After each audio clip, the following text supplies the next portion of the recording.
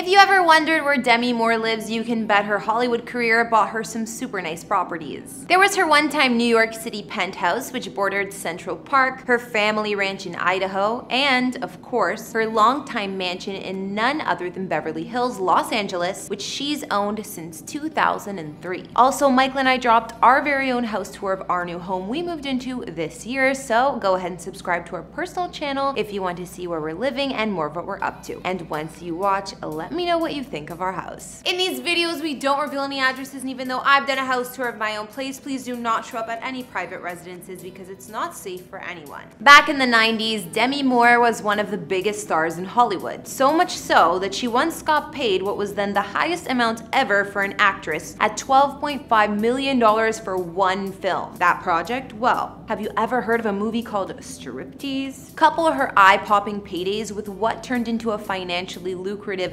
$90 million divorce from her former husband Bruce Willis, and it might surprise you to learn that Demi Moore is worth an estimated $200 million today. Over the course of her career, Demi's invested a healthy portion of this worth into some luxe real estate holdings. For instance, in 1990, she and Bruce split a $7 million bill on a New York City home right beside Central Park. Demi would hold onto this gorgeous apartment for nearly three decades while splitting her time between two further places, one of which was her family's ranch home in Hailey, Idaho. The other is the necessary Hollywood mansion in Beverly Hills that Demi acquired with another former ex, Ashton Kutcher, for $3.15 million.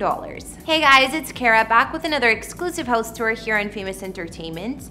Today looking at where Demi Moore calls home. Don't forget to like, subscribe, and hit me up on Instagram to chat. And now let's get into this video.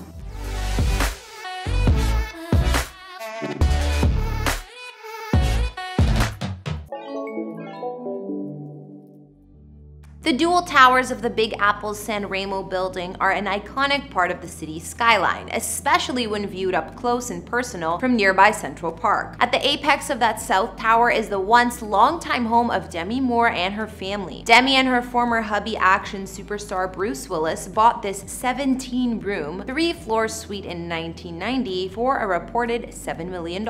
And while Demi and Bruce's marriage wouldn't last, her relationship with this place would. Boasting six bedrooms along alongside five and a half baths, this gem features views of both Central Park and the New York City skyline from the comfort of both inside and out. Once you ride the private elevator up to the penthouse, you'll step off to discover a home covered in wood paneling, which somehow works, even in the concrete jungle. Especially when you combine the design with the sunlight that flows in through the home's lengthy two-story windows that can make you feel like you're actually living inside Central Park. This 7,000 square foot home provides more than enough space space to raise a large family, which Demi definitely has, and it's also big enough to house visiting guests with a designated loft. Other spaces include a dining room, entertainment den, an eating kitchen, and even a separate breakfast nook, all of which are spread out across the first and second floors. Meanwhile, up on the third and final floor, you'll find French doors that lead out to a giant terrace, as well as a games room and a home office. Beyond the majesty of the penthouse itself, other building amenities are said to include include a garden, fitness center, playroom for the kids, and a storage area, which in New York City is a must. After splitting from Bruce in 2000, Demi would retain sole ownership of this penthouse for the next 15 years. So she finally put it on the market for a mind-melting $75 million. But no, she didn't get what she was looking for when she finally sold the property two years later. $45 million sure isn't bad though, right? Demi pocketed all that cash and then headed off for what just might be her favorite property of all, out west in Idaho. Bruce and Demi first moved to Idaho in 1988, the very same year they welcomed their first daughter, Rumer. With these Hollywood superstars set on expanding their family, they needed someplace away from Hollywood to do so in privacy. Well, they found that spot in a tiny town known as Hailey, Idaho. They arrived looking to become everyday regular people, but wound up as anything but. After securing themselves a ranch-style home And don't worry, we'll circle back to that in a second. This newlywed couple went a little crazy. In fact, it seems as if Bruce in particular became inspired to turn Hailey into his very own version of paradise by gobbling up a ton of vacant property lots and constructing a whole series of businesses. I'm talking the likes of a movie theater, a shopping center, a nightclub, and even a 50s style diner that they called Shorty's. Unfortunately, after the couple split, Bruce's interest in the town began to wane. Much like with their New York penthouse, Demi was given ownership of the ranch. So Bruce abandoned his investments in the rest of the town with basically no warning. He closed down the nightclub and diner, costing hundreds of people their jobs. He also canceled all further development plans and was subsequently sued by former contractors and employees for unpaid wages. Thankfully, some of those spots, like the diner, would reopen later on under new management. As for Demi, well, she never abandoned Idaho. In fact, she continued to live out of their ranch-style home, and she still spends a considerable amount of her time there to this day. Over the past few years, she's also occasionally offered us glimpses into this lovely place through social media. For instance, here's a look at Demi's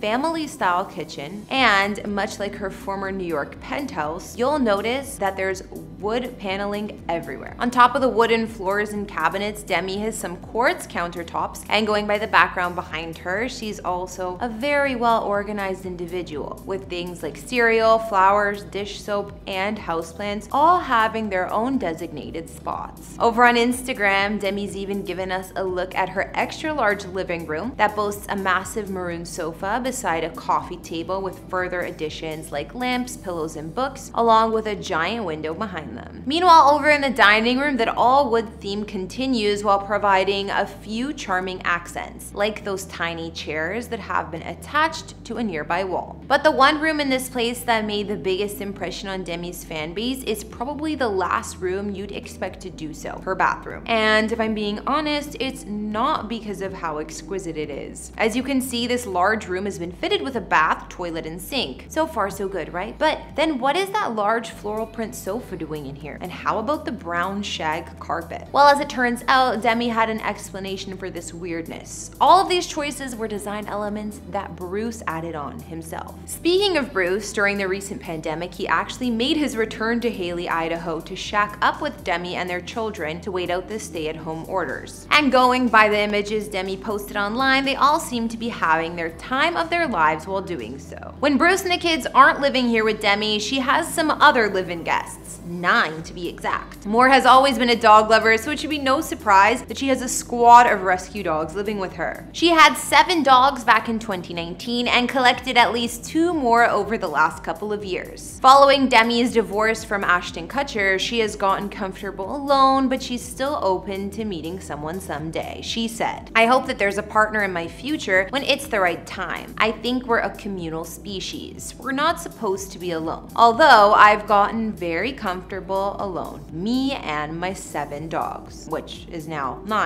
or more. And speaking of her ex Ashton, let's take a look at one of her other homes. After spending so much of the 90s living in Hailey, Idaho, Demi's three daughters eventually persuaded her to return back to California, where she and her then boyfriend Ashton Kutcher dropped $3.15 million on a mansion in Beverly Hills back in 2003. Now, Demi splits her time between her Idaho ranch and this spot. After looking at close to a dozen houses, Demi wound up circling back to the very first home she visited, telling Architectural Digest at the time, When we walked in, my kids whispered, This is the one. It was ideal. It was right at the center of things, but it had such a serene quality. It was like being in a treehouse. And she's not kidding about that treehouse comment either. Over the years, Demi has done her best to emphasize the nature that surrounds her home, even going so far as to make it a part of the house itself. She told Architectural Digest, You feel the outside when you're inside. The house is a part of nature, and nature rarely does it wrong. If we stick closely to it, we'll always be on the right track. But soon enough, another problem would emerge. Demi had more children than she had bedrooms, so to resolve this problem, she brought in an interior designer to open up the spaces and make enough room, not only for her kids, but her pets and friends as well. Of course, practically speaking, she also had to make some additions to the house and added on two bedrooms, two bathrooms, and a den for her kids to utilize. As for the outside, well, it boasts a large swimming pool with a spacious deck, and thanks to the property being nestled into a canyon hillside, it's totally set away from prying eyes. Best of all, Demi is simply content with the warmth this home brings to her and her family's life, and that's probably why she continues to live there to this very day. Well, that's gonna bring our Demi Moore house tour to an end. I gotta say, I love how she shares her place with all those cute dogs. Life goals. Be sure to let me know what you thought of her properties down in the comments, and don't forget to take a moment to like, subscribe, and turn on your notifications before you leave. Feel free to follow me on Instagram to chat, and I'll see you all in another video. Bye!